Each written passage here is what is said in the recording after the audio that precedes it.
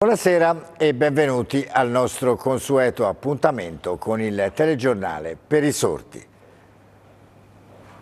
Lo stadio Artemio Franchi col progetto ARUP non si farà mai, lo sanno tutti, è il segreto di Pulcinella. Queste le parole del leader di Italia Viva Matteo Renzi nel corso di una conferenza stampa oggi a Firenze. Il progetto, dice Renzi, non sta in piedi, non dal punto di vista architettonico, ma dal punto di vista economico. Oggi la situazione è andare allo scontro, come propone il sindaco Nardella, dicendo faccio causa allo Stato o cercare un accordo. La causa comune-Stato è una follia, non c'è bisogno di fare causa, ma di fare un accordo, ha concluso eh, Matteo Renzi.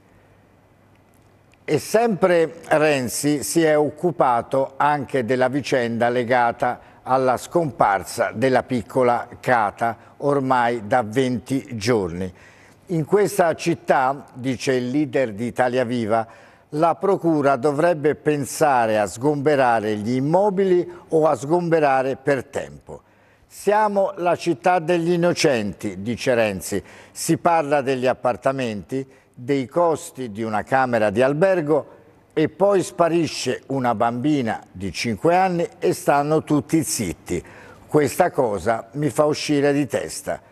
Io ritengo, ha concluso Matteo Renzi, la Procura di Firenze moralmente responsabile del mancato sgombero dell'Hotel Axtor.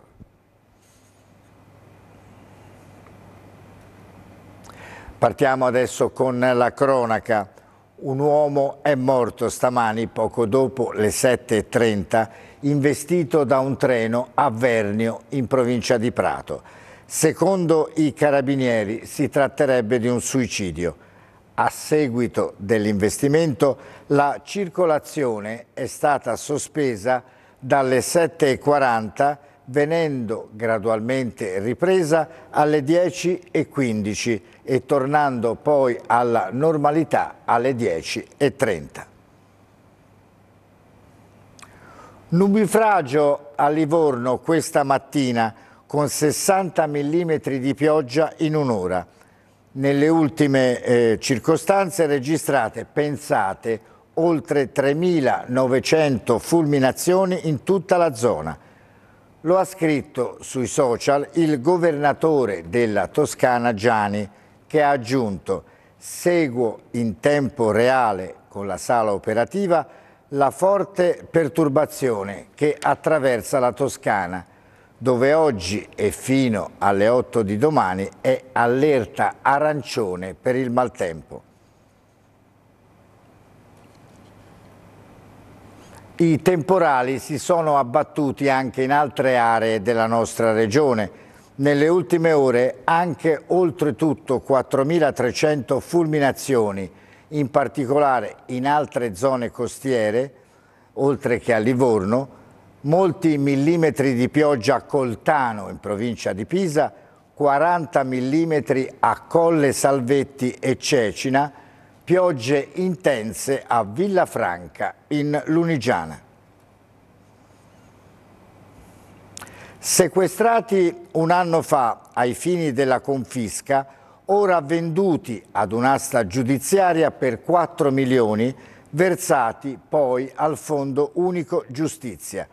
Si tratta di oltre 8 milioni di metri lineari di tessuto di contrabbando destinato a ditte di confezioni di abbigliamento cinesi a Prato, intercettati e recuperati nel marzo del 2022 dalla Guardia di Finanza pratese nell'ambito di un'operazione che aveva portato anche alla denuncia di cinque orientali.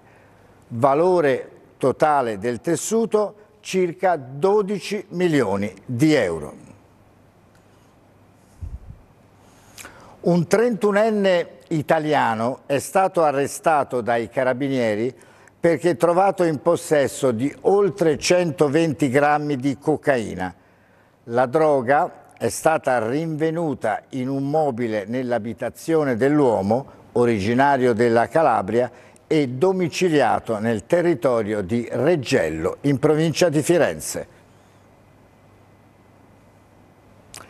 I lavoratori di Opera, l'impresa che gestisce i servizi museali di Firenze, tra cui gli Uffizi, il Polo Museale e l'Opificio delle Pietre Dure, domani sciopereranno per mezza giornata con presidio nel piazzale degli Uffizi alle 13.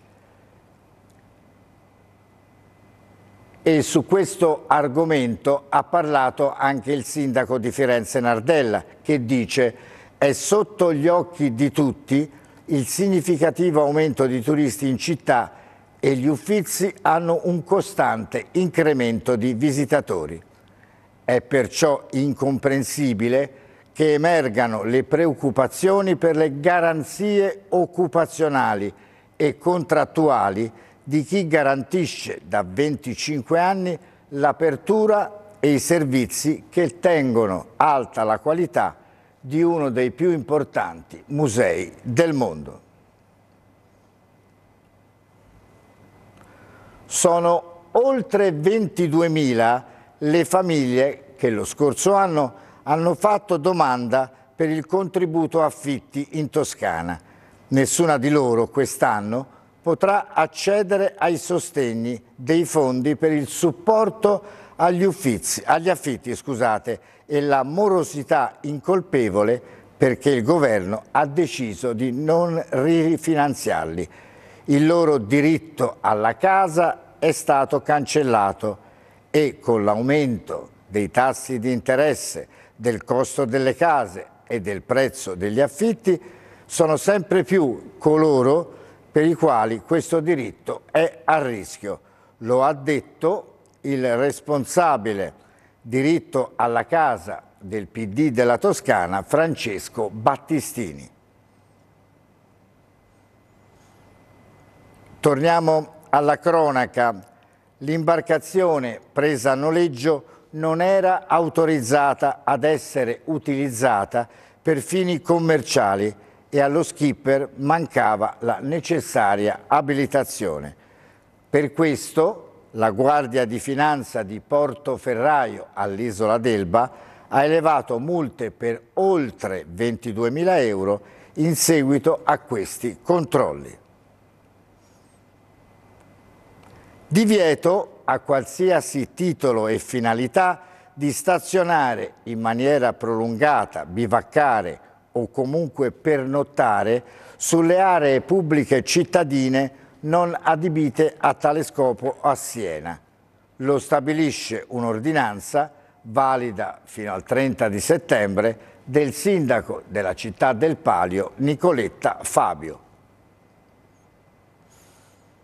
E prima di concludere uno sguardo alle previsioni del tempo per domani sabato in Toscana.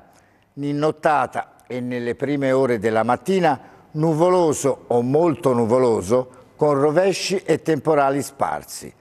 Poi tendenza schiarite, seguite però da un nuovo aumento della nuvolosità cumuliforme associata a rovesci o brevi temporali. Venti deboli o moderati occidentali. I mari saranno mossi, temperature in calo le minime, massime intorno ai 27-29 gradi. Ed è tutto per questa edizione. Grazie di essere stati con noi. Arrivederci a domani.